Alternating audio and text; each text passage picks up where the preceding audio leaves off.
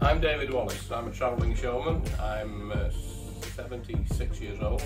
Travelled all of my life and this is my home on the road. I have a settled home where we stay in the winter time, but in the summertime my wife and I are in there. This is our dining area, uh, which seats three or four if we have a guest. The settee pulls out and makes a double bed should we have somebody wants to stay overnight. This part slides in for the road and then again this part slides in on the road. We have to wire the TV, uh, Sky, satellite reception.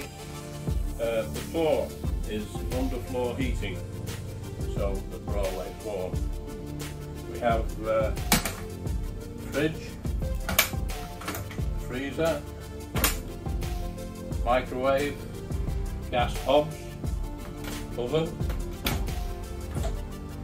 dishwasher, sink, covers overhead and covers all around. Uh, then this is the electronics control panel for all the lighting and everything else like that. And we come through here,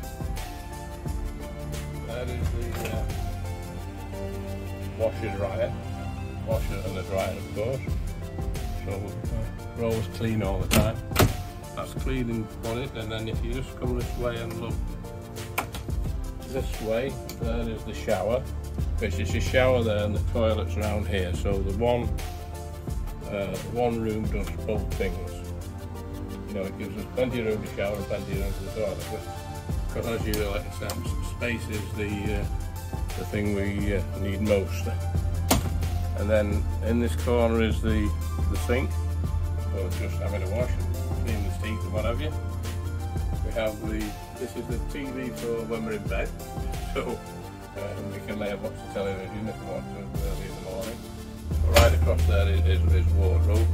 But the bed lifts up and there's under bed storage, which anybody has in their house.